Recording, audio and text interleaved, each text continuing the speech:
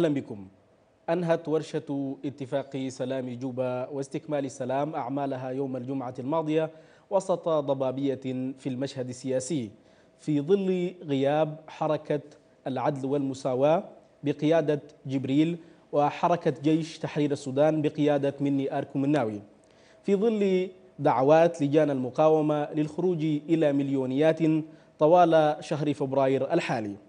وسط أمنيات بأن تصل العملية السياسية إلى نهاياتها في ظل دعوات الأمنيات من الجميع بأن تفضي إلى انتقال ديمقراطي سلس يؤسس لانتخابات حرة ونزيهة. أهلا بكم في أجندة الساعة اليوم. نطرح فيها عدد من الأسئلة على ضيوفنا داخل الاستوديو لنناقش ما جاء في ورشة اتفاقية السلام التي تجيء كواحدة من القضايا الخمسة المطروحة في المرحلة النهائية للعملية السياسية. أرحب بضيوفي داخل الاستوديو. مرحب بك الأستاذ عبد الجليل الباشا. أهلا مرحبا بكم. يمتد الترحاب بعضو لجان المقاومة منتصر الشرميطي. مرحب مرحب بكم يا أستاذ.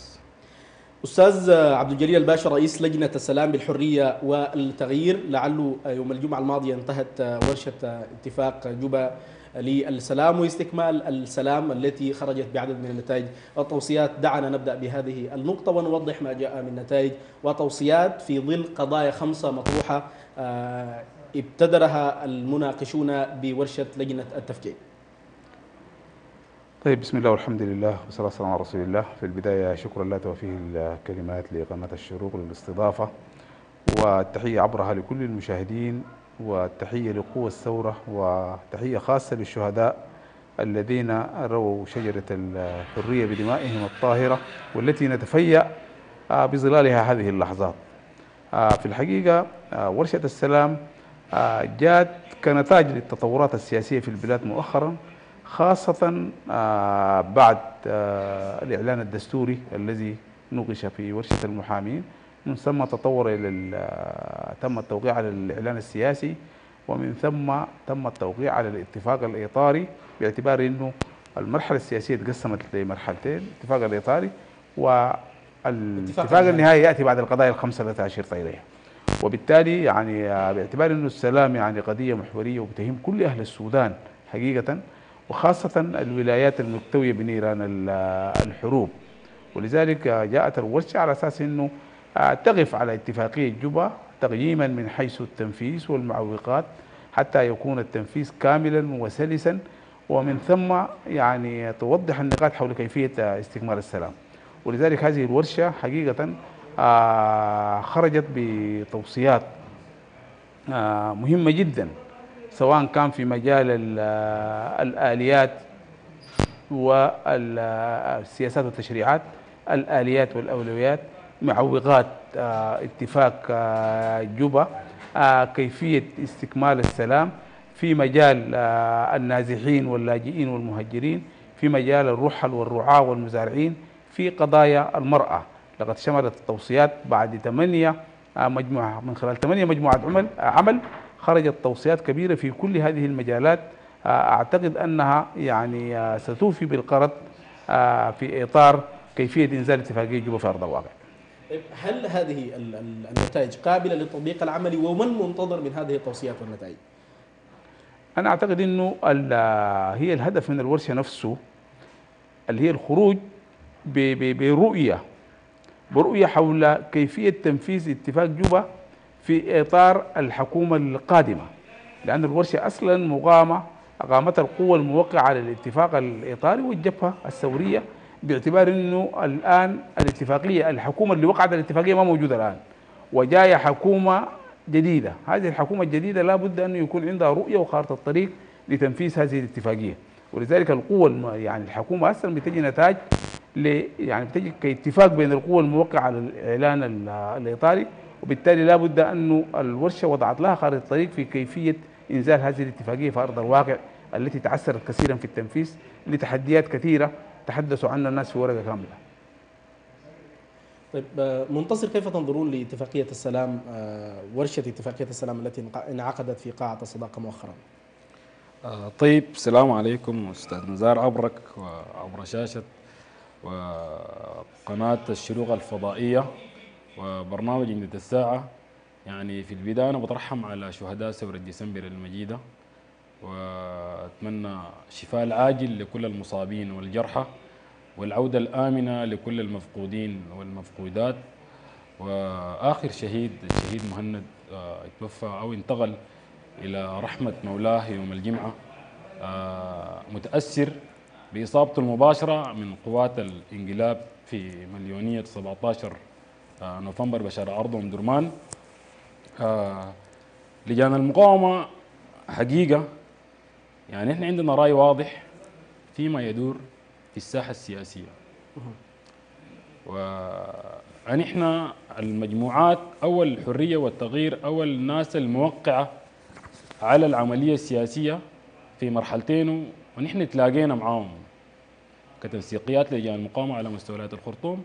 كذلك يتلاقينا مع اليوني تامس والرباعية والثلاثية. في إنه نلحق نحن كلجان مقاومة بما يدور في الساحة السياسية من عملية سياسية لإنهاء الانقلاب.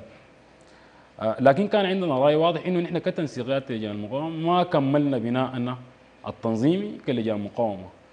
آه، الحرية والتغيير منتصر معلش مقاطعة ليه ما كملتوا بناءكم التنظيمي كلجان مقاومة؟ نحن ما كملنا عشان كده ما قدرنا نلحق العملية السياسية نكون منها بصورة واضحة.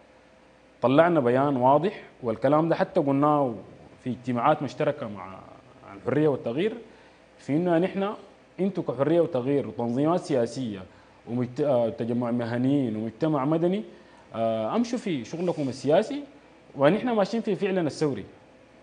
إلى أن نكمل هياكلنا على مستوى السودان كلجان مقاومة لأنه اللجان دي في فترة من الفترات حصل لها استقطاب حاد. المهم الحاجات دي هي كلها واضحة بالنسبة للشعب السوداني. في الشارع إنه منو نحرك الموضوع. نحن ال- الخلاف مع فيما يدور في الساحة السياسية نحن كلجان مقاومة بندعي لإسقاط الانقلاب أو إنهاء الانقلاب. آه والخط له في فترتنا نحن بنقاوم في انقلاب الخامس والعشرين من أكتوبر ده والآن عندنا أكثر من 100 كم و30 شهيد أو 128 شهيد. وكمية من ال... أكثر من 4000 مصاب وجريح ومفقودين ومفقودات. آه المشهد السياسي أو الانقلاب ده نحن بالنسبة لنا كلجان مقاومه عارفين إنه هو انقلاب معقد. الانقلاب ده مشاركين فوقه الآن هم نحن بنتكلم عن شركاء السلام أو ما يسمونه بشركاء السلام اللي هي حركات الكفاح يعني المسلح. يا منتصر آه، نقاطعك هنا دي. آه، انت قلت إنه أنتوا غبتوا عن ال- العملية السياسية لأنه أنتوا ما أكملتوا هياكلكم في نفس الوقت أنتوا آه، مصرين على آه، فعلكم الثوري ومستمرين في الشارع. إحنا بدنا نفهم بالضبط ما هو موقف لجان المقاومة. أنا ماشي لك يا أستاذ نزار. نحن عشان دار نخط النقاط في الحروف بصورة واضحة.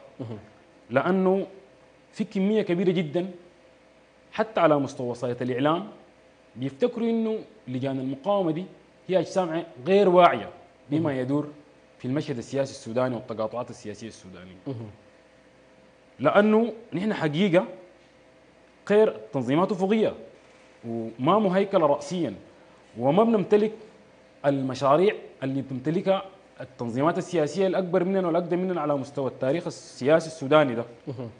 نحن عندنا منتوج فكري وجايبين به من القواعد اللي هو ميثاق تأسيس سلطة الشعب. الميثاق حقنا ده بنتكلم عنه في موضوع نحن حنجي حنجي لاحقا. لاحقا لمسألة ميثاق آه، سلطة الشعب. أيوه. لكن خليني أنتقل آه، للاستاذ عبد الجليل ثاني أستاذ عبد الجليل لعله الورشة انعقدت آه، في ظل ظروف معقدة جدا. وسط غياب آه، أهم حركتين من الحركات الموقعة حركة آه، جبريل ومناوي. وبالتالي دخلت امتحان الشمول. كيف تنظرون إلى آه، هذه ال- ال- الورش التي أقيمت في ظل غياب جزئية مهمة جدا آه، من الجزئيات الموقعة حركتي العدل والمساواة وجيش تحرير السودان؟ طيب هي القضية أصلا أن إحنا مستهدفين السلام كأولوية باعتبار أن السلام بيهم آه، كل الشعب السوداني. وبالتالي اتفاقية جوبا لسلام السودان بنفتكرها إنجاز كبير جدا أنجزته الحكومة الانتقالية المنقلب عليها. يعني على الأقل أوقفت الحرب وحققت سلام.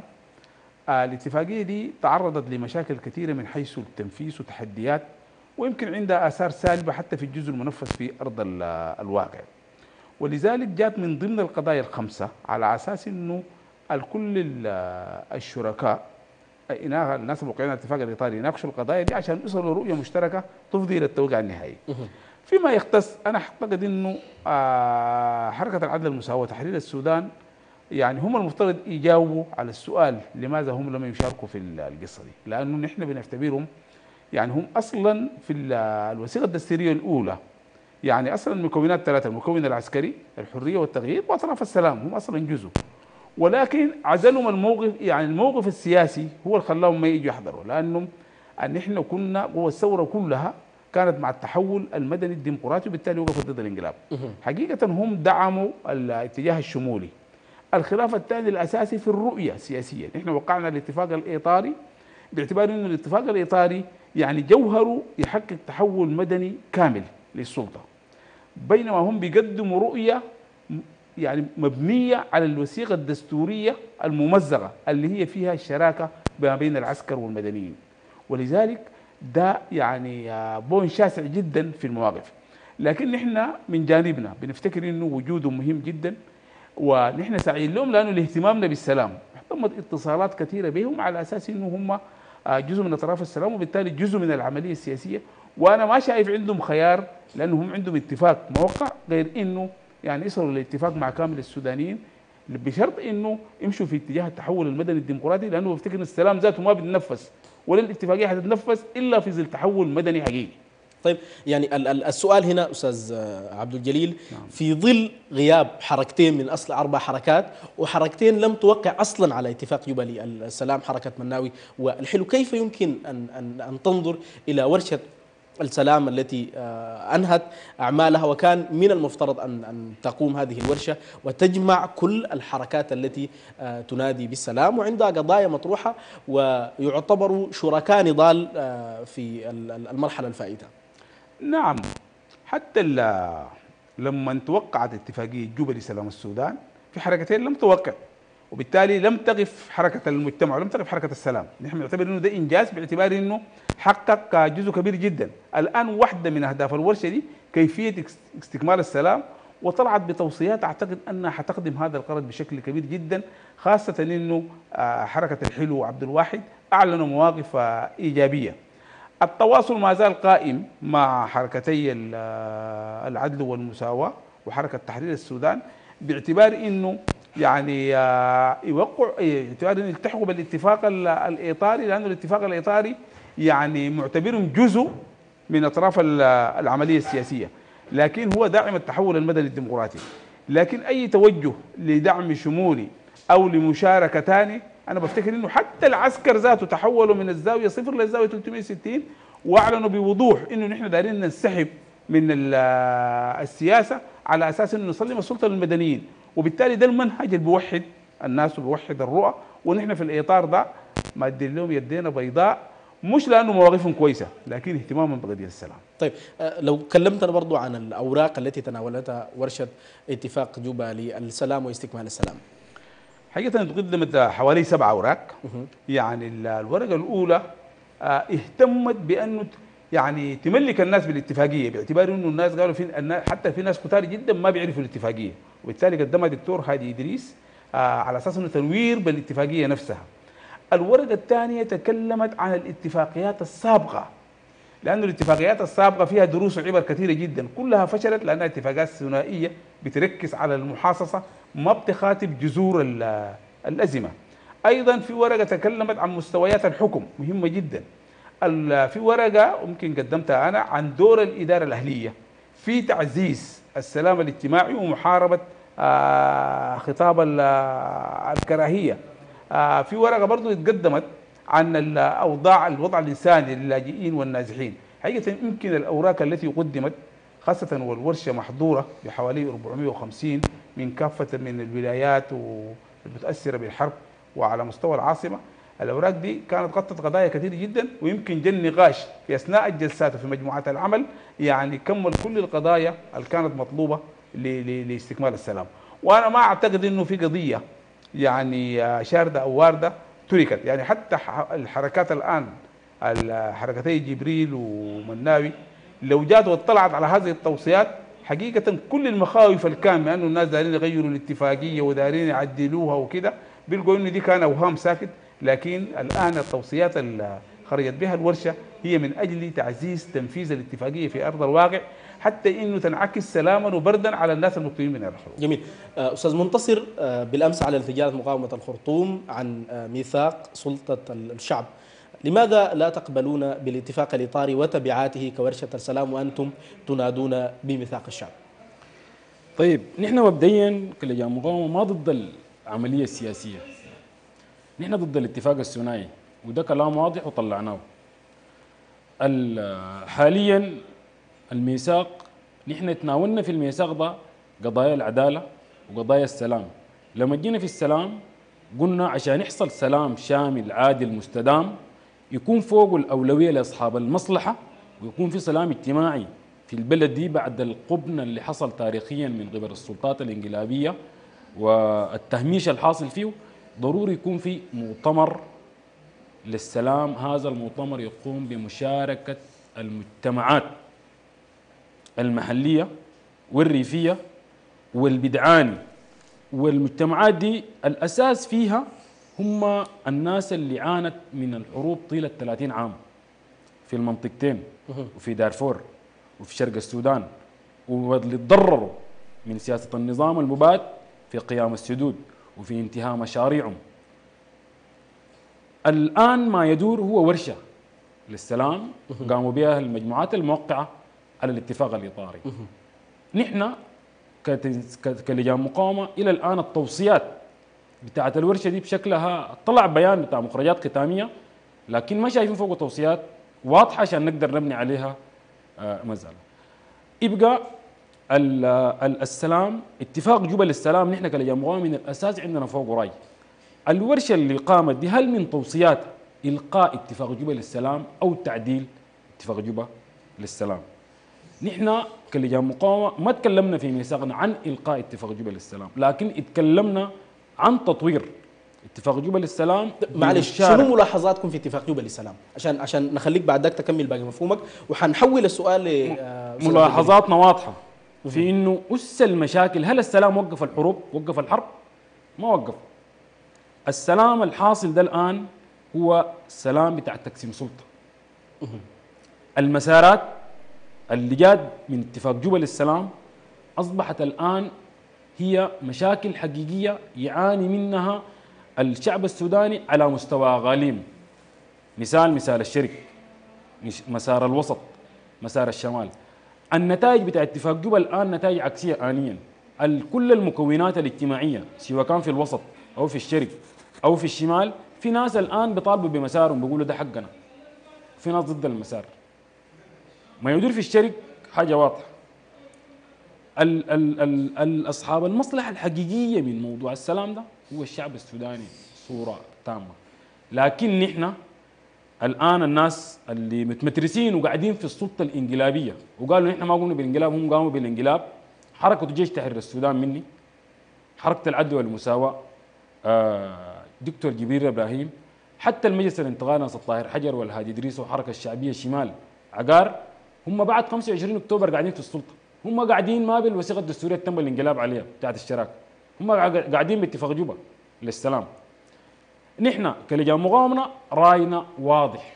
طيب هذا فيما يلي رأيكم في الصورة دي ما بتؤدي لسلام السلام. شامل عادل يا منتصر.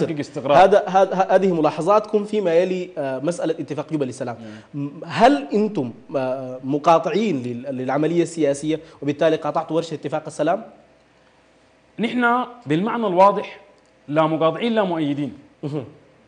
نحن بنعمل على تثبيت أركان التحول المدني الديمقراطي بشكل صحيح. من خلال؟ من خلال أول حاجة بنتكلم عنها إنه في انقلاب يجب إنه يسقط أو ينهى.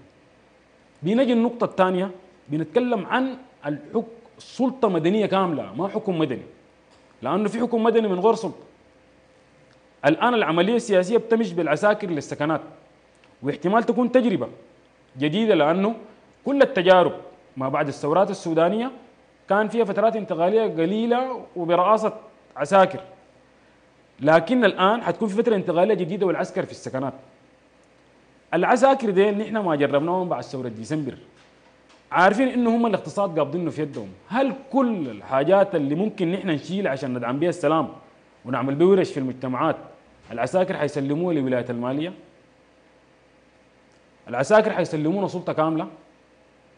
ولا حيسلمونا حكم مدني من دون صلاحيات ومن دون سلطة. دي حاجات أساسية. وهي دي الأزمة ودي الجذور. إذا نحن حليناها الشعب السوداني حينعم بحرية وبسلام وباستقرار وبكرامة وبديمقراطية وحيكون في تحول ديمقراطي يسوقنا لانتخابات حرة ونزيهة يغرر فيها الشعب السوداني منو يحكمه جميل. أستاذ عبد الجليل آه، لماذا لم لم تكن هناك توصيات واضحة لهذه آه، ال- اللجنة؟ وكيف يمكن أن نوضح للكل التوصيات التي خرجت بها آه، ورشة آه، السلام التي قامت بقاعة الصداقة ولكن آه، عقب هذا الفاصل القصير.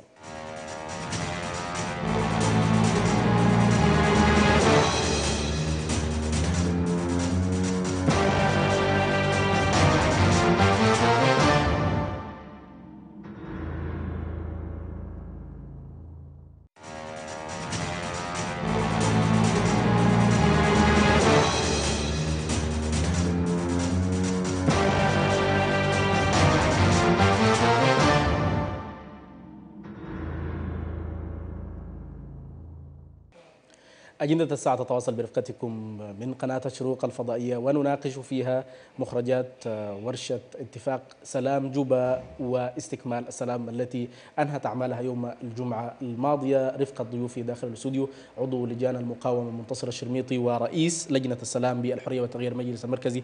أستاذ عبد الجليل باشا كنا قد توقفنا قبل الفاصل بتساؤل آه، عن آه، لماذا لم تكن هناك يعني رصد وبيان واضح لتوصيات ومخرجات آه، ورشة السلام التي اختتمت يوم الجمعة الماضية. طيب أعتقد انه الورشة دي يعني كان فيها ثمانية مجموعات عمل في القضايا المختلفة بالإضافة للتوصيات اللي وردت في الجسات وخرجت بحوالي أكثر من 150 آه توصية في كافة المحاور. أنا عضو في لجنة الصياغة بالأمس كل التوصيات دي تمت آه صياغتها بشكل جيد والآن هي في مرحلة الطباعة. وستملك للرأي ال- آه، العام يعني. وأعتقد إنه البيان الختامي أشار لجزء من هذه ال- التوصيات. ولذلك هي ثمره هذه الورشة أو هذا المؤتمر ثمرته هي التوصيات التي خرجت وهي موجودة. لم تنشر بعد لكن. لم تش... يعني في مرحلة الطباعة ربما تنشر غدا أو بعد غدا يعني. طيب أستاذ عبد الجليل أيضا آه، غابت آه، بل يعني قامت آه، ال- السلام متزامنة مع ورشة آه، تمت الدعوة إليها بالقاهرة وبالتالي غاب الزخم عن ورشة الخرطوم. هل تتفق مع هذا الأمر؟ لا أتفق مع هذا الأمر لأنه أنا أعتقد إنه ورشة الخرطوم لم تقم من فراغ. هي جاءت نتاج لتطور العملية السياسية البدت بدستور المحامين من ثم الإعلان السياسي من ثم جاء الاتفاق الإطاري الموقع عليه قوة كبيرة جدا بما فيها المكون العسكري. ولذلك آه، وال- ال- الاتفاق الإطاري أصلا أصلا هدفه التحول المدني الديمقراطي. والإشكال بتاع حركتي العدل والمساواة لأنهم ضمن مجموعة ضمن منظومة بتختلف في مشروع السياسي عن مشروع الاتفاق الإطاري. وأنا أقول لك بكل وضوح وصراحة أصلا الانقلاب 25 أكتوبر لما قام هدفه هدفه أصلا هدفه استيعاب قوة جديدة معظمها من فلول النظام المبات ومشاركيه عشان يشرعن وضعه. لكن قوى الثورة قاومت هذه المسألة وحاولوها في السلام الروتانا رفضوها رفضت. وبالتالي تحت كل هذه الضغوط تم التوقيع على ال- الإعلان الإطاري. الآن ما يدور في ال- القاهرة هو عرض لنفس الأفكار القديمة في آه، ثياب جديدة. هذه القوى الآن في القاهرة هي ذات القوة. بتحاول تناقش إعلان دستوري جديد آه، إعلان سياسي جديد تشكيل حكومة بالرغم من أنه القاهرة أيدت ال ال الاتفاق الإطاري. نحن كنا بنتوقع من القاهرة أنها تدعم الإرادة السودانية وتدعم الاتفاق الإطاري. كونه يقوم عمل موازي بهذا الشكل حقيقة آه أنا أفتكر إنه آه، القاهرة أخطأت في تقديراتها لهذا الموقف. كان ينبغي أن ترى أستاذ جليل ألا تعتقد بأن ما تقوله الآن آه، وما آه، يطرحه ال- آه، الأطراف الموجودين الآن بالقاهرة يوسع الهوة لفكرة الاقتراب أكثر من الأقران السياسية بين بعضهم البعض والاقتراب نحو آه، توقيع الاتفاق الإطاري لكافة القوى السياسية الرافضة للتوقيع وإكمال المرحلة النهائية من العملية السياسية. أنا عايز أقول لك بكل وضوح نحن منفتحين جدا وبنفتكر إن السودان ده ملك لكل السودانيين. لكن دعونا نتفق في المبادئ ونتفق في الأهداف. الآن الثورة السودانية والشعب السوداني هدفه تحقيق تحول آه، مدني ديمقراطي كامل.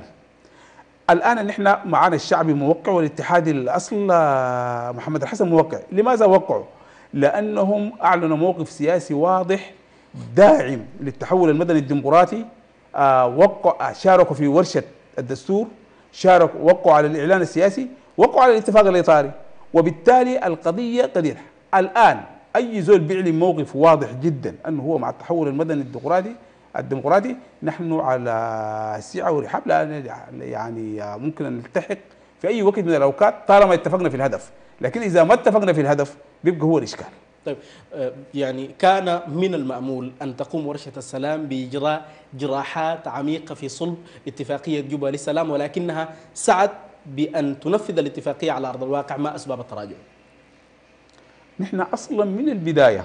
صحيح في ناس عندهم ملاحظات على اتفاق جوبا من حيث التحديات آه ملاحظات حول المسارات آه ملاحظات حول التنفيذ باعتبار إنه الحروب الآن أكثر الحروب الدائرة الآن هي دائره في مناطق الاتفاقية نفسها سواء كان في دارفور آه جنوب كردفان النيل الأزرق آه وهكذا غرب كردفان وكده. ولذلك كان لابد من أنه آه التغييم الهدف منه التنفيذ. يعني نحن لا نريد أن نلغي الاتفاق لأنه الاتفاق إنجاز كبير جدا وهو إنجاز حكومة ال- الثورة. ولذلك نحن نريد أن نزيل هذه السلبيات والمعوقات حيث بحيث إنه تنعكس ينعكس تنفيذ اتفاقية السلام سلاما وبردا ويحقق سلام حقيقي في أرض الواقع. ولذلك من ضمن القطاعات التي شاركت في الورشة الإدارة الأهلية لأنه نحن نفتكر إنه السلام السياسي بتاع الاتفاقيات ما بيحقق أهدافه ما لم يكون في سلام اجتماعي بين ال- المكونات في أرض الواقع. وعشان كده ركزنا على حضور القطاعات الحية من كل الولايات المعنية التي نصت عليها اتفاقية السلام. لكنكم لن تقوموا بإجراء أي تعديلات على نص ال- ال- ال- الاتفاقية. لا ليست هنالك تعديلات على النصوص ال- الاتفاقية. ولكن هنالك مراجعات لبعض القضايا بحيث إنه لأنه في قضايا يعني آه، عطلت التنفيذ بالذات قضية الترتيبات الأمنية. ولذلك كل القضايا دي عندها مراجعات على أساس إنه نسهل تنفيذ الاتفاقية لأنه حقيقة نحن محتاجين لسلام في هذه المناطق ومحتاجين الاتفاقية تنفذ ومحتاجين طلعت توصيات كثيرة في كيف إنه نكمل السلام مع الحركات الغير آه، موقعة. ولذلك ليس هنالك إلغاء، الإلغاء يعني الرجوع لل للحرب ولكننا نريد أن نقوم بحيث أنه نسهل عملية التنفيذ ونزيل كل السلبيات والقصور الذي صاحب الاتفاقية. يعني لا يمكن مراجعة الاتفاقية بدون حضور جزء من الحركات التي وقعت على هذه الاتفاقية. هنا نعني حركتي آه، عبد الواحد وجبريل. عفوا آه، مناوي وجبريل. أنا أعتقد أنه ال- هنالك سبعة من حركات الآن حضور في هذه ال- الورشة. وما تم لا يتناقض ابدا. إذا كان المصلحة هي تنفيذ الاتفاقية كل التوصيات التي خرجت هي تدعم تنفيذ الاتفاقية. وأنا أعتقد الآن لو اطلعوا اطلعوا على التوصيات ما حيقدروا يضيفوا حرف واحد أو يقولوا التوصية دي هي ضد الاتفاقية أو ضد السلام. منتصر إلى متى الخروج إلى الشارع؟ في ظل وقت قبل فيه العسكر الجلوس إلى الحوار وبالطبع كانوا هم شركاء في الاتفاق الإطاري. إلى أن يسهوا إلى السكنات. يعني إحنا عندنا فبراير ده مليونيات. بكرة في مليونية مركزية. لكن نحن كلجان مقاومة يا أستاذ ندار داير أقول حاجة محددة. إنه الرأي العام والشارع وفي ناس بيفتكروا إنه بما فيها الإنقلابيين ذاته إنه لجان المقاومة ضد التنظيمات السياسية ضد القوى السياسية. الكلام ده ما صحيح. لجان المقاومة دي هي ولدت من رحم الثورة. الثورة دي فعل تراكمي من 89 يقول ومن قبل 89 في انقلابات عسكرية كانت حاكمة البلد القوى السياسية قاومتها وسقطتها ومشت بها نحن كلجان مقاومة عندنا قناعات بحاجات محددة. يعني ما يدور الآن في مصر. من ورشة؟ هو الموقف ده ما موقف الناس اللي فاتوا شاركوا في الورشة. هو الموقف ده موقف مصر. الأمني لتعطيل التحول المدني الديمقراطي في السودان. والمصريين حيعطلوا نحن اكتشفنا نحن ترسنا شارع الشمال ده شهر واحد. عرفنا مصر دي قدر شنو قاعد تنهب خيرات الشعب السوداني. فالمصريين لما يلقوا لهم ناس زي أردول ومبارك الفاضل وناز عسكوري وجعفر الصادق المرقني نحن كلجان مقاومة كلامنا برا ما قاعدين ندسه. وزي جبريل وزي مني ونحن مش مش أنا داير أقول بمعنى واضح إنه هم مشترينهم أو كده لكن عادي ممكن في يوم من الأيام يبقوا عملاء. الدولة المصرية تدار بالمخابرات والمخابرات المصرية داخلة في السودان نحن كلجان مقاومة. الحاجة دي عارفينها والقوى السياسية افتكروا إن هي عارفاها. العملية السياسية الماشية لإنهاء الانقلاب وذهاب العسكر للسكنات المصريين قدموا مبادرتهم دي بعد ما الناس دي وقعوا الاتفاق الاطار ناس عبد الجليل الباشا ديل. هم الناس وقعوا. ثاني هم جايبين مبادره ليه ال- ده ده وضح لنا نحن برضه ادانا اشاره في لجان المقاومة إنه ما يدور في العملية السياسية دي هو ماشي لإنه يعمل تحول مدني ديمقراطي حقيقي. طيب يا منتصر عشان آه، كده- قلت لي إنه لجان المقاومه تعرضت آه، إلى استقطابات عديدة، كيف يمكن أن تؤثر هذه الاستقطابات في عمل لجان المقاومة وبالتالي في تكوينها كوحدة واحدة وإلحاق بالعملية ال- ال- السياسية؟ خصوصا أن لجان المقاومة صار لديها تفرعات عديدة كيفية السبيل إلى جمعها في وحدة واحدة. الاستقطابات دي حاصلة مهم. لكن لجان المقاومة دي الفعل حقها وهدفها اللي هي من أجله قدمت شهداء وقدمت ضحايا وقاعدة في الشارع وبتقاوم وين وين وين ما بتتغير ممكن أجي أنا منتصر ده عضو بتاع لجان مقاومة وقاعد على مستوى التنسيقية وكده لكن لما نتخذ موقف سياسي مقاير للموقف اللي إحنا متفقين عليه كلنا كقواعد على مستوى لجنة حينا وعلى مستوى التنسيقية يبقى أنا حاطلع من التنسيقية. لأنه إحنا نتكلم عن استقلالية لجان المقاومة في الموقف. نحن كلجان مقاومة ما قدرنا نبقى سياسيين. طيب منتصر في نقطة لابد من إنه نوضحها، أيوة. الاستقطابات دي كيف أثرت على عمل لجان المقاومة؟ وكيف عرفتوا إنه في استق- استقطابات؟ وبالتالي أصلا الآن في تفرعات، الآن أنت بتتحدث عن لجان مقاومة عندها أكثر من فرع، في في أطراف الآن لجان المقاومة كانت ال- ال- الاتفاق الإطاري ودعت آه، إلى مليونيات. واضحة وكانت تعتقد أن هذا آه، سمته بالتسوية السياسية، الآن أنت بتقول إنه أنتم لستم لستم ضد ال- ال- الاتفاق الإطاري ولستم معه، الآن أنتم في مو- في موقف رمادي. دارين نقيف على مسألة ال ال ال ال الاستقطابات التي تمت للجان المقاومة وبالتالي موقف لجان المقاومة من هذه الاستقطابات ومن كيفية وقوفها من العملية السياسية. طيب في الآن في لجان مقاومة هي دعم للانقلاب. وأنتم ممكن تكونوا شفتوها على مستوى الإعلام. الاستقطاب اللي بت... اللي انت تكلمت عنه أستاذ نزار في إنه هو داعي لإسقاط العملية السياسية. ال- لجان المقاومة دي من 25 أكتوبر إحنا في يناير سعينا لتكوين ميثاق. الآن في ميثاقين. في ميثاق تاسيس سلطه الشعب هو ده المنتوج اللي شاركت فوقه وموقع عليه 16 تنسيقية داخل ولاية الخرطوم. وفي الميثاق الثوري لتاسيس سلطة الشعب. الميثاق الثوري بيدعي لتغيير جذري. واضح للناس إنه هو موقفه من موقف الجزريين أو موقف تحالف الحزب الشيوعي. ده واضح. ده عنده شعار ويتكلم عن إسقاط العملية السياسية ويتكلم عن الناس اللي العملية السياسية هم هم ناعم ودي تسوية سياسية وكده لكن التنسيقيات والمجموعات والأعضاء اللي قدمت ميثاق تأسيس سلطة الشعب والميثاق ده إحنا طرحناه كلجان مقاومة على مستوى ولايه الخرطوم لتنسيقيات الولايات لقى تأييد واسع جدا وحتى الميثاق ده طرحناه للقوى السياسية الفكرة الأساسية في ميثاق سلطة الشعب شنو؟ ما أنا داير اوديك الصراع ده هو مصراع الاستقطاب ده حاصل ليه؟ فعليا في تنظيمات سياسية محترمة عندها أعضاء قاعدين جوا لجان المقاومة لكن ما قاعدين يمروا اجنده أحزابهم. وفي أعضاء أو كوادر بتاع القوى السياسيه قاعدين على مستوى لجان المقاومة ودايرين يسوقوا لجان المقاومة ويجيروها لصالح مشاريعهم الفكرية لصالح أحزابهم السياسية، ديل تلقائيا هم بالساقط. لأنه الدور الحقيقي للجان المقاومة نحن حراس للتحول المدني الديمقراطي حراس للديمقراطية نحن كتبنا قلنا إنه إحنا كتب علينا أن نكون الجيل الذي ينهي الانقلابات العسكرية داخل الدولة السودانية. الآن واحدة من حاجاتنا نحن بنفكر فيها نقوي منظوماتنا السياسية مش نضعف التنظيمات السياسية عشان يكون في ركائز بتاعة منافسة ديمقراطية حقيقية إذا جات أي انتخابات. نقوي منظوماتنا السياسية. لكن ده برضو بيحتاج إنه التنظيمات السياسية تنظر للثورة دي بفعل إيجابي. الثورة دي ثورة بتاعت شباب. والجيل المرق الثورة دي وبيقدم التضحيات الجسام اللي شايفينها الناس دي كلها. هو جيل واعي جدا. إذا كان في زول بيتكلم إنه رجال المقاومة دي هم متطرفين في الفعل الثوري هم ما واعين. ده كلام سائل الكلام ده ما حاصل. رجال المقاومة دي أصغر زول فيها عنده فعل واعي. ونحن قاعدين نعمل ورش وقاعدين ناخذ ورش. نحن مشينا الآن بنتناول في ورش قانونية. بنعمل في ورش قانونية ونوعي كل أعضاء رجال المقاومة بالقانون السوداني. لأنه نحن في فترة بنتكلم عن 130 المشنقة بس. أستاذ نزار.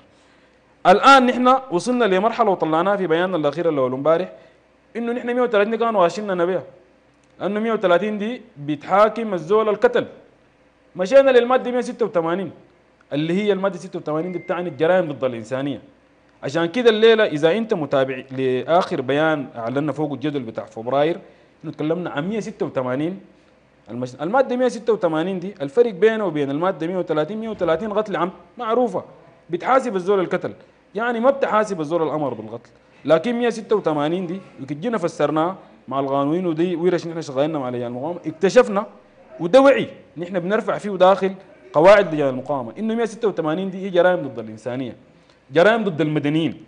بيتحاسب الزول القتل والزول الأمر والزول الساهم. دي ما فيها إفلات من العقاب.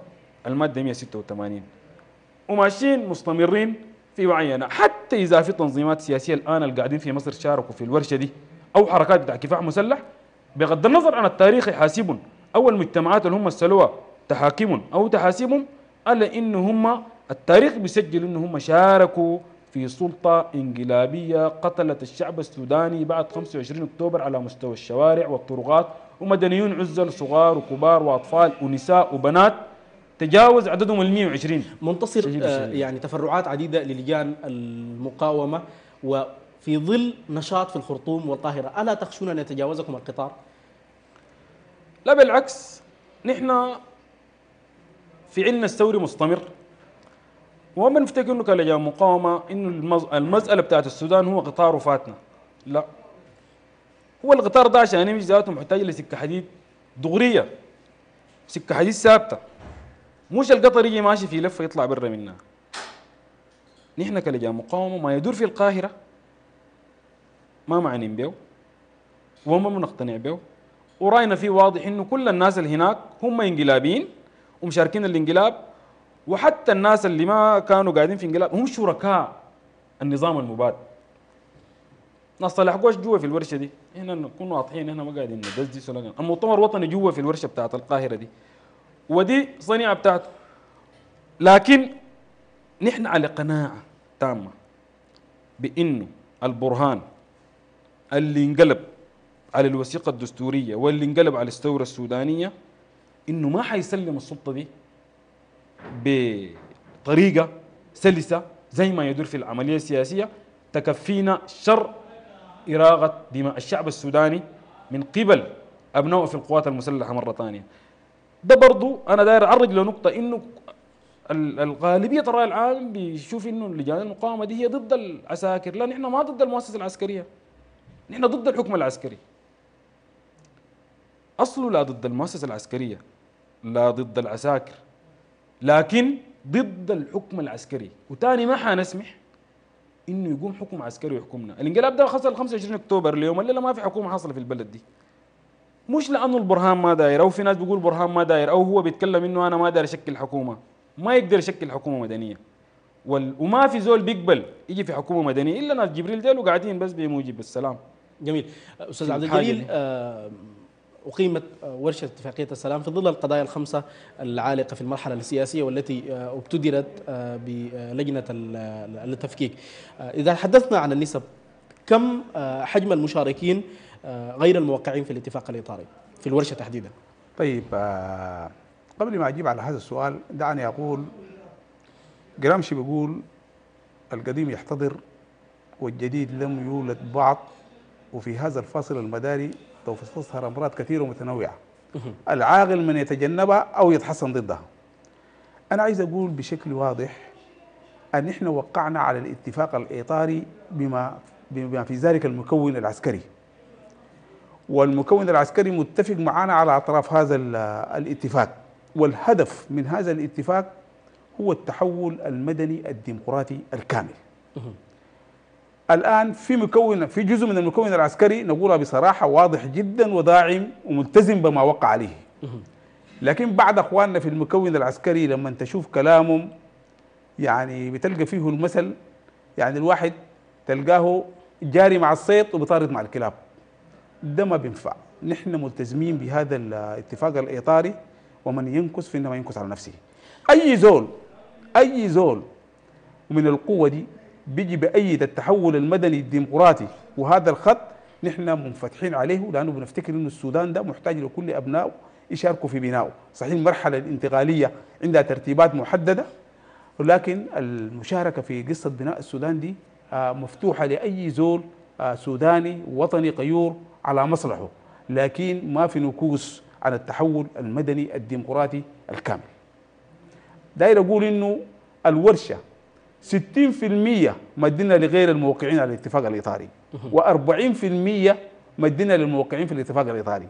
عشان كده المشاركين ال 450 معظمهم من غير الموقعين على الاتفاق الإطاري لأنه نحن بنفكر إنه السلام يعني قضية بتهم أي إنسان في المنطقة والسلام لابد إنه لأنه الهدف من الورشة هو خلق الدعم السياسي والشعبي لاتفاقية السلام عشان نكمل السلام وعشان السلام ده يتحول لسلام شامل ودائم ومستدام طيب أستاذ عبد الجليل هل هناك أي اتصالات أو أي موافقة مب- مبدئية من عبد الواحد وعبد العزيز الحلو حول مخرجات هذه الورشة التي أقيمت بقاعة الصداقة؟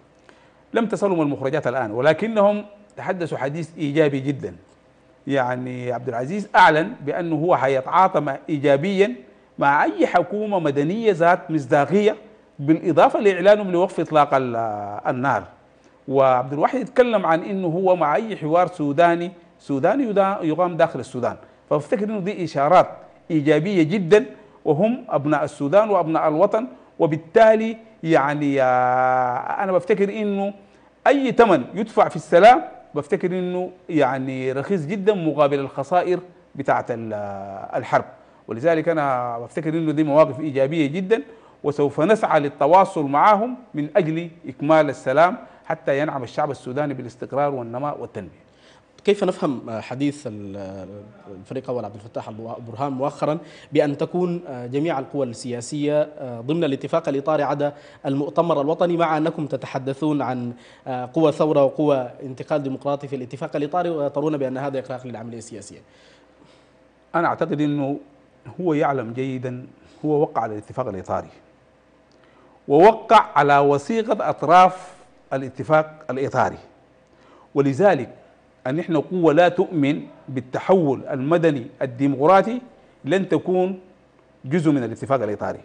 لأن الخلاف أصلا حول المواقف مواقف الناس الداعمين للانقلاب ومواقف الناس المبنية على الوثيقة القديمة بينادوا بشراكة العسكر مرة أخرى. ديل أصلا ما موجودين. ولذلك ده كلام حقيقة حمال أوجه. وينبغي يعني للبرهان نفسه أن يقدم خطاب واضح جدا ملتزم بالاتفاق الإطاري ملتزم بالاتفاق الإطاري وملتزم بإيحوده عشان نقدر نقود البلد دي لقدام. لكن أنا زي ما قلت لك الكلام بتاع أنك أنت تدي يعني هو بيقول كلام كأنما تنصر عن الاتفاق الإطاري واحيانا يجي يعتذر. وده الكلام أنا قلته ذاته كلام أنك يفهم بأنك تجري مع الصيد وتطارد مع الكلاب ده ما بيفهم ده ده ده, ده آه السياسة الآن الشعب السوداني واعي جدا ومحتاج لشفافيه ووضوح. نحن من جانبنا ملتزمين بالاتفاق الإطاري ونسوق لغايه نوصل نهاياته عشان يحصل استقرار في المرحلة الانتقا- الانتقالية نتوجها بانتخابات حرة نزيهة وبعد ذاك عنده بخور بنشم جميل. منتصر ال- التطورات في مشهد لجان المقاومة تشير إلى تشتت ال- الجهود داخل لجان المقاومة. هل دخلتم في أي حوار مع القوى السياسية الموقعة على الاتفاق الإطاري؟ نحن الت- التقينا مع الحرية والتغيير المجلس المركزي.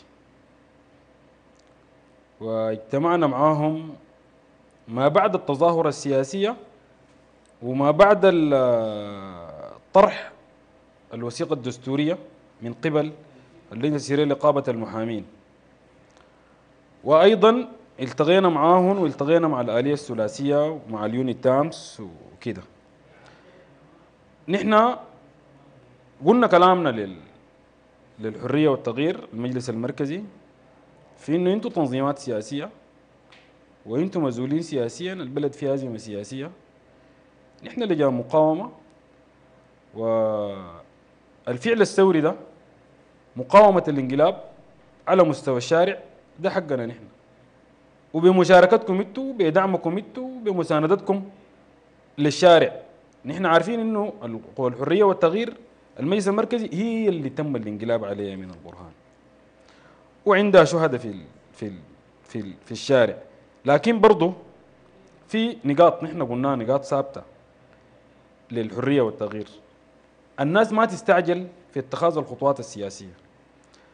البلد دي بغض النظر عن فوق أزمة سياسية فوق تدخلات خارجية كبيرة جدا. هم يتكلموا عن قوى الثورة ويتكلموا عن المجتمع الدولي ويتكلموا عن الداعمين للتحول المدني الديمقراطي. الداعمين دي دخلوا بها المؤتمر الشعبي دخلوا بها أنصار السنة دخلوا بها الحزب الاتحاد الديمقراطي الأصل محمد عثمان المرقني. بغض النظر عن موقف الحسن أو إبراهيم المرقني لكن يظل إن هم الآن داخل حزب الاتحاد الديمقراطي الأصل بقيادة مولانا أحمد عثمان المرقني. ومولانا ذاته لمن جاء وجا السودان عشان نكون واضحين جاء عشان يعطل العملية السياسية اللي بتبر- بتسحب بالعساكر للسكنات. وفي ده لكن منتصر في, في ظل هذا الحديث أنتم كلجان مقاومه لم تعلنوا موقف واضح من العملية السياسية باعتبار اعلنا اعلنا أم ضد العملية أعلنا السياسية. موقف أعلنا موقف أعلنا موقف واضح بالأمس أو اول امس وقلنا نحن وقبل شهر برضو أعلنا موقف بعد التوقيع بتاع الإطار في ديسمبر في إنه العملية السياسية دي هي إذا بتسحب بالعساكر نحن قلنا بتسحب بالعساكر للسكنات ما عندنا معاه مشكلة. بتحاسب مرتكبين الجرائم ما عندنا معاه مشكلة. بتحقق العدالة لأسر الضحايا ولأسر الشهداء ما عندنا معاه مشكلة. بتعمل على دعم التحول المدني الديمقراطي ما عندنا مشكلة. بتخلي مرتكزات الثورة هي الأساس للمرحلة الانتقالية الحرية والسلام والعدالة. ما عندنا مشكلة. الهدف واحد تختلف الآليات والوسائل في الوصول للهدف ده. لكن انت قبل شوية في بداية الحلقة قلت إنه أنتم آه، ما أعلنتوا موقف واضح من العملية السياسية، يعني أنتم لا لا مؤيدين للعملية السياسية ولا رافضين، أنتم الآن ماخذين موقف وسط ولديكم هدف وحيد آه، في هذه المرحلة وهو مسألة تحقيق ال- العدالة والعدالة ال- ال- الانتقالية. كيف يمكن الوصول إلى هذا دون الوصول إلى حكومة مدنية كاملة؟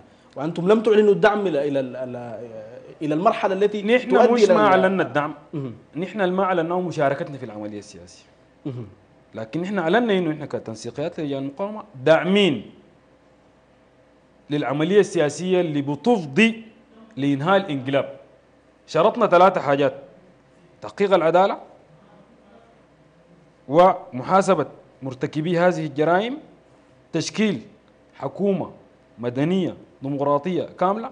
اتكلمنا التفاصيل الثالثة في هياكل السلطة المدنية.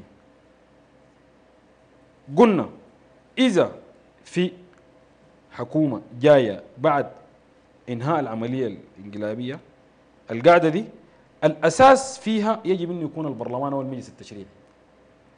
المجلس التشريعي القوى الموقعة على العملية السياسية الآن لا يمكن لها ولا بتقدر إنه تتجاوز لجان المقاومة وتسمي مجلس تشريعي بدون لجان المقاومه يكونوا قاعدين فيه. ألا ترى إحنا في المرحله دي يا حنجي منتصر كتنسيقيات ما شايف إنه. ده تنصل من لجان المقاومة من المسؤولية في حال فشل القوى المدنية في تحقيق الأهداف التي أرادت تحقيق آه، لجان المقاومة مثلا في العدالة أن تخلي مسؤوليتها من عدم المشاركة لأنه قلت لي قبل شوية نحن ما اعلنا مشاركتنا ولكن اعلنا دعمنا طيب ال الكلام ده هو حاصل يعني زي ما السؤال اللي أنت سألته ده سؤال وجيه ذاته بيوضح للشارع السوداني ولقوى الثورة وللسوار في الشارع إنه نحن كلجان مقاومة قاعدين نعمل في شنو؟ موقفنا ضبابي. وما واضح من العملية السياسية. بطريقة شفافة نحن ما بنقدر نوقف الحراك. الثوري على مستوى الشا... على مستوى الشارع. تجربتنا مع العساكر ديل من الاعتصام. مش نحن وصلنا لقناعه لإنه نحن ما بنثق فيهم. حقيقة ما في زول قاعد يثق في العساكر. الشارع ده اذا مات العساكر ديل زي خطاب برهان اللي اخره خطاب كباش اللي اول امبارح ده حيتراجعوا عن العملية السياسية. وحيشرطوا. يقولوا نحن لا يمكن نسلم البلد ولا بنسلم حكومة لدستور موقعينه 10 أنفار. ضرورة كل المكونات تكون في العملية السياسية ما عدا المؤتمر الوطني. هي المكونات دي كلها منه ده السؤال. مكونات دي كلها منه ما عدا المؤتمر الوطني؟ في مكونات ثورة اتحددت في العملية السياسية في مكونات ثورة الشارع السوداني عارفها في مكونات ثورة حتى المجتمع الدولي والإقليمي الداعم للعملية السياسية بال... بالكلام الكبير ده عارف إنه هي قوى الثورة المكونات الثانية دي المؤتمر الوطني عنده اوجه كثيرة جدا سواء كان مبادرة الشيخ الطيب الجد ناس أردول ديل حاليا ناس مبارك الفاضل ناس آه، تجاني السيسي. مجموعات كبيرة جدا الآن يا أخي المؤتمر الوطني بيتكلم في في الساحات. وانس عمر بيهدد في الشعب السوداني وبسمي الناس زي العبيد. المسألة دي ما ساي بإيحاء من المكون العسكري. طيب يعني يا, يا منتصر فرصة. لحظة لحظة. عشان نوضح ال نوضح ال ال ال ال النقاط.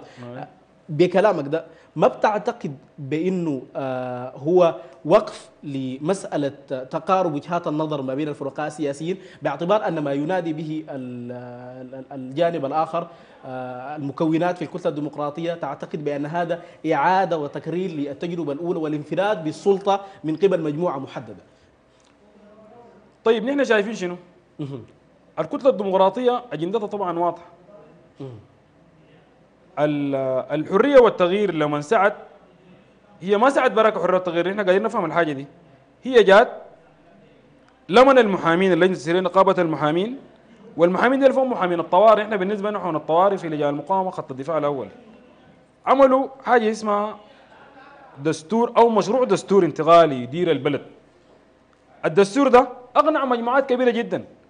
لكن المجموعات بما نحن لجان المقاومة الدستور ده قعدنا مع اللجنة بتاعتهم لجنة السياقه ولجنة التعديلات وأديناهم إضافاتنا وهم شالوا في الدستور ده كمية مواد مما طرحناه نحن في الميثاق بتاعت سلطة الشعب. الكتلة الديمقراطية إلى الآن بتتكلم عن إنه ضرورة العسكر يكونوا قاعدين الوثيقة اللي تم الانقلاب عليها في 25 أكتوبر تكون قاعدة. ديل ما حريصين على التحول المدني الديمقراطي؟ وما حيجي يوم يدعموا التحول المدني الديمقراطي؟ لأنه ما بعد الثوره بتاع ديسمبر المجيد والوصول للاعتصام واقتلاع حتى نظام ديكتاتوري على مستوى إفريقيا. البشير بكل اجهزته المختلفة. كان الدعم السريع معه جهاز الأمن الشرطة الشعبية الأمن الشعبي الأمن الطلابي الشرطة الجيش. الثورة تصل للاعتصام وتعتصم اللي عندي ما يتم إسقاط ال- النظام. تاني بعدها استحالة يكون في زول بيقول لك أنا ما داير ديمقراطية. أو أنا حيكون مع حكم. آه، دي في نقطة هنا فيها. لبس أنا داير أوضحها بس. آخذ من زمنك أقل من 30 ثانية. للأمانة والتاريخ نحن في لجان المقاومة الحرية والتغيير دي ما حصل في يوم. ده ما حاجة حسي قاعد تقال. قالت لنا وقفوا الحراك في الشارع. ما قالت لنا كلام زي ده. إحنا قاعدين نلتقي بها وقاعدين نلتقي بأعضاء وقاعدين نلتقي بغادات وقاعدين نلتقي بالسياسيين بتاعنا.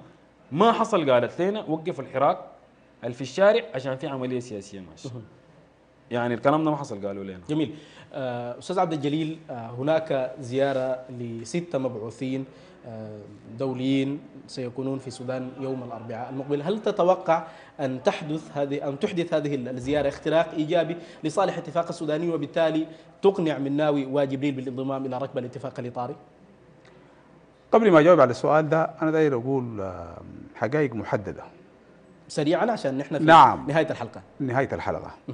إنه أن إحنا الآن الحرية والتغيير الآن هي جزء من القوى الموقعة على الاتفاق الاطاري وبالتالي نحن ما أقصينا زول. البخسيك هو موقفك. هل أنت مع التحول المدني الديمقراطي وضد الشراكة وضد الشراكة العسكر في السلطة؟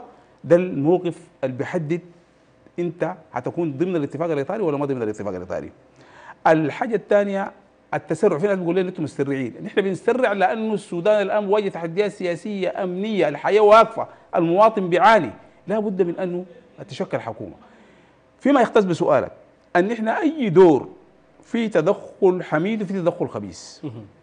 أي دور للمجتمع الدولي في إطار دعم إرادة الشعب السوداني؟ أن إحنا معاه إذا هؤلاء الناس جايين على أساس إنه يدفعوا بالعملية السياسية ويدفعوا بالاتفاق الإطاري. في الإطار ده لو أقنعوا جبريل ومناوي يجوا المسألة دي نحن حقيقة حنرحب بهذه المسألة لأنه أصلا نحن جزء من الأسرة الدولية وبالتالي أي دعم للعملية السياسية عشان تبلغ سدرة منتهاها إن نحن بنكون داعمين له وبنكون شاكرين لهم زي ما حس في تدخل خبيث لت- لتعطيل إرادة الشعب السوداني وفي تدخل حميد لدعم إرادة الشعب السوداني. لك الشكر الجزيل الأستاذ عبد الجليل الباشا رئيس لجنة السلام بالحرية والتغيير المجلس المركزي. كنت ضيف عزيز علينا في أجندة الساعة. كتر خيرك. شكرا لك شكرا لك. الشكر لك أيضا الأستاذ منتصر الشرميطي عضو لجان المقاومة نورتنا في أجندة الساعة. شكرا جزيلا. تسلم أستاذ نزار وشكرا لكم على إتاحة هذه الفرصة. لا نلتقي في ساحات وطن حر ديمقراطي يسعى الجميع. لكم أنتم أيضا السادة والسيدات المشاهدين. الشكر الجزيل لمتابعة هذه الحلقة من أجندة الساعة.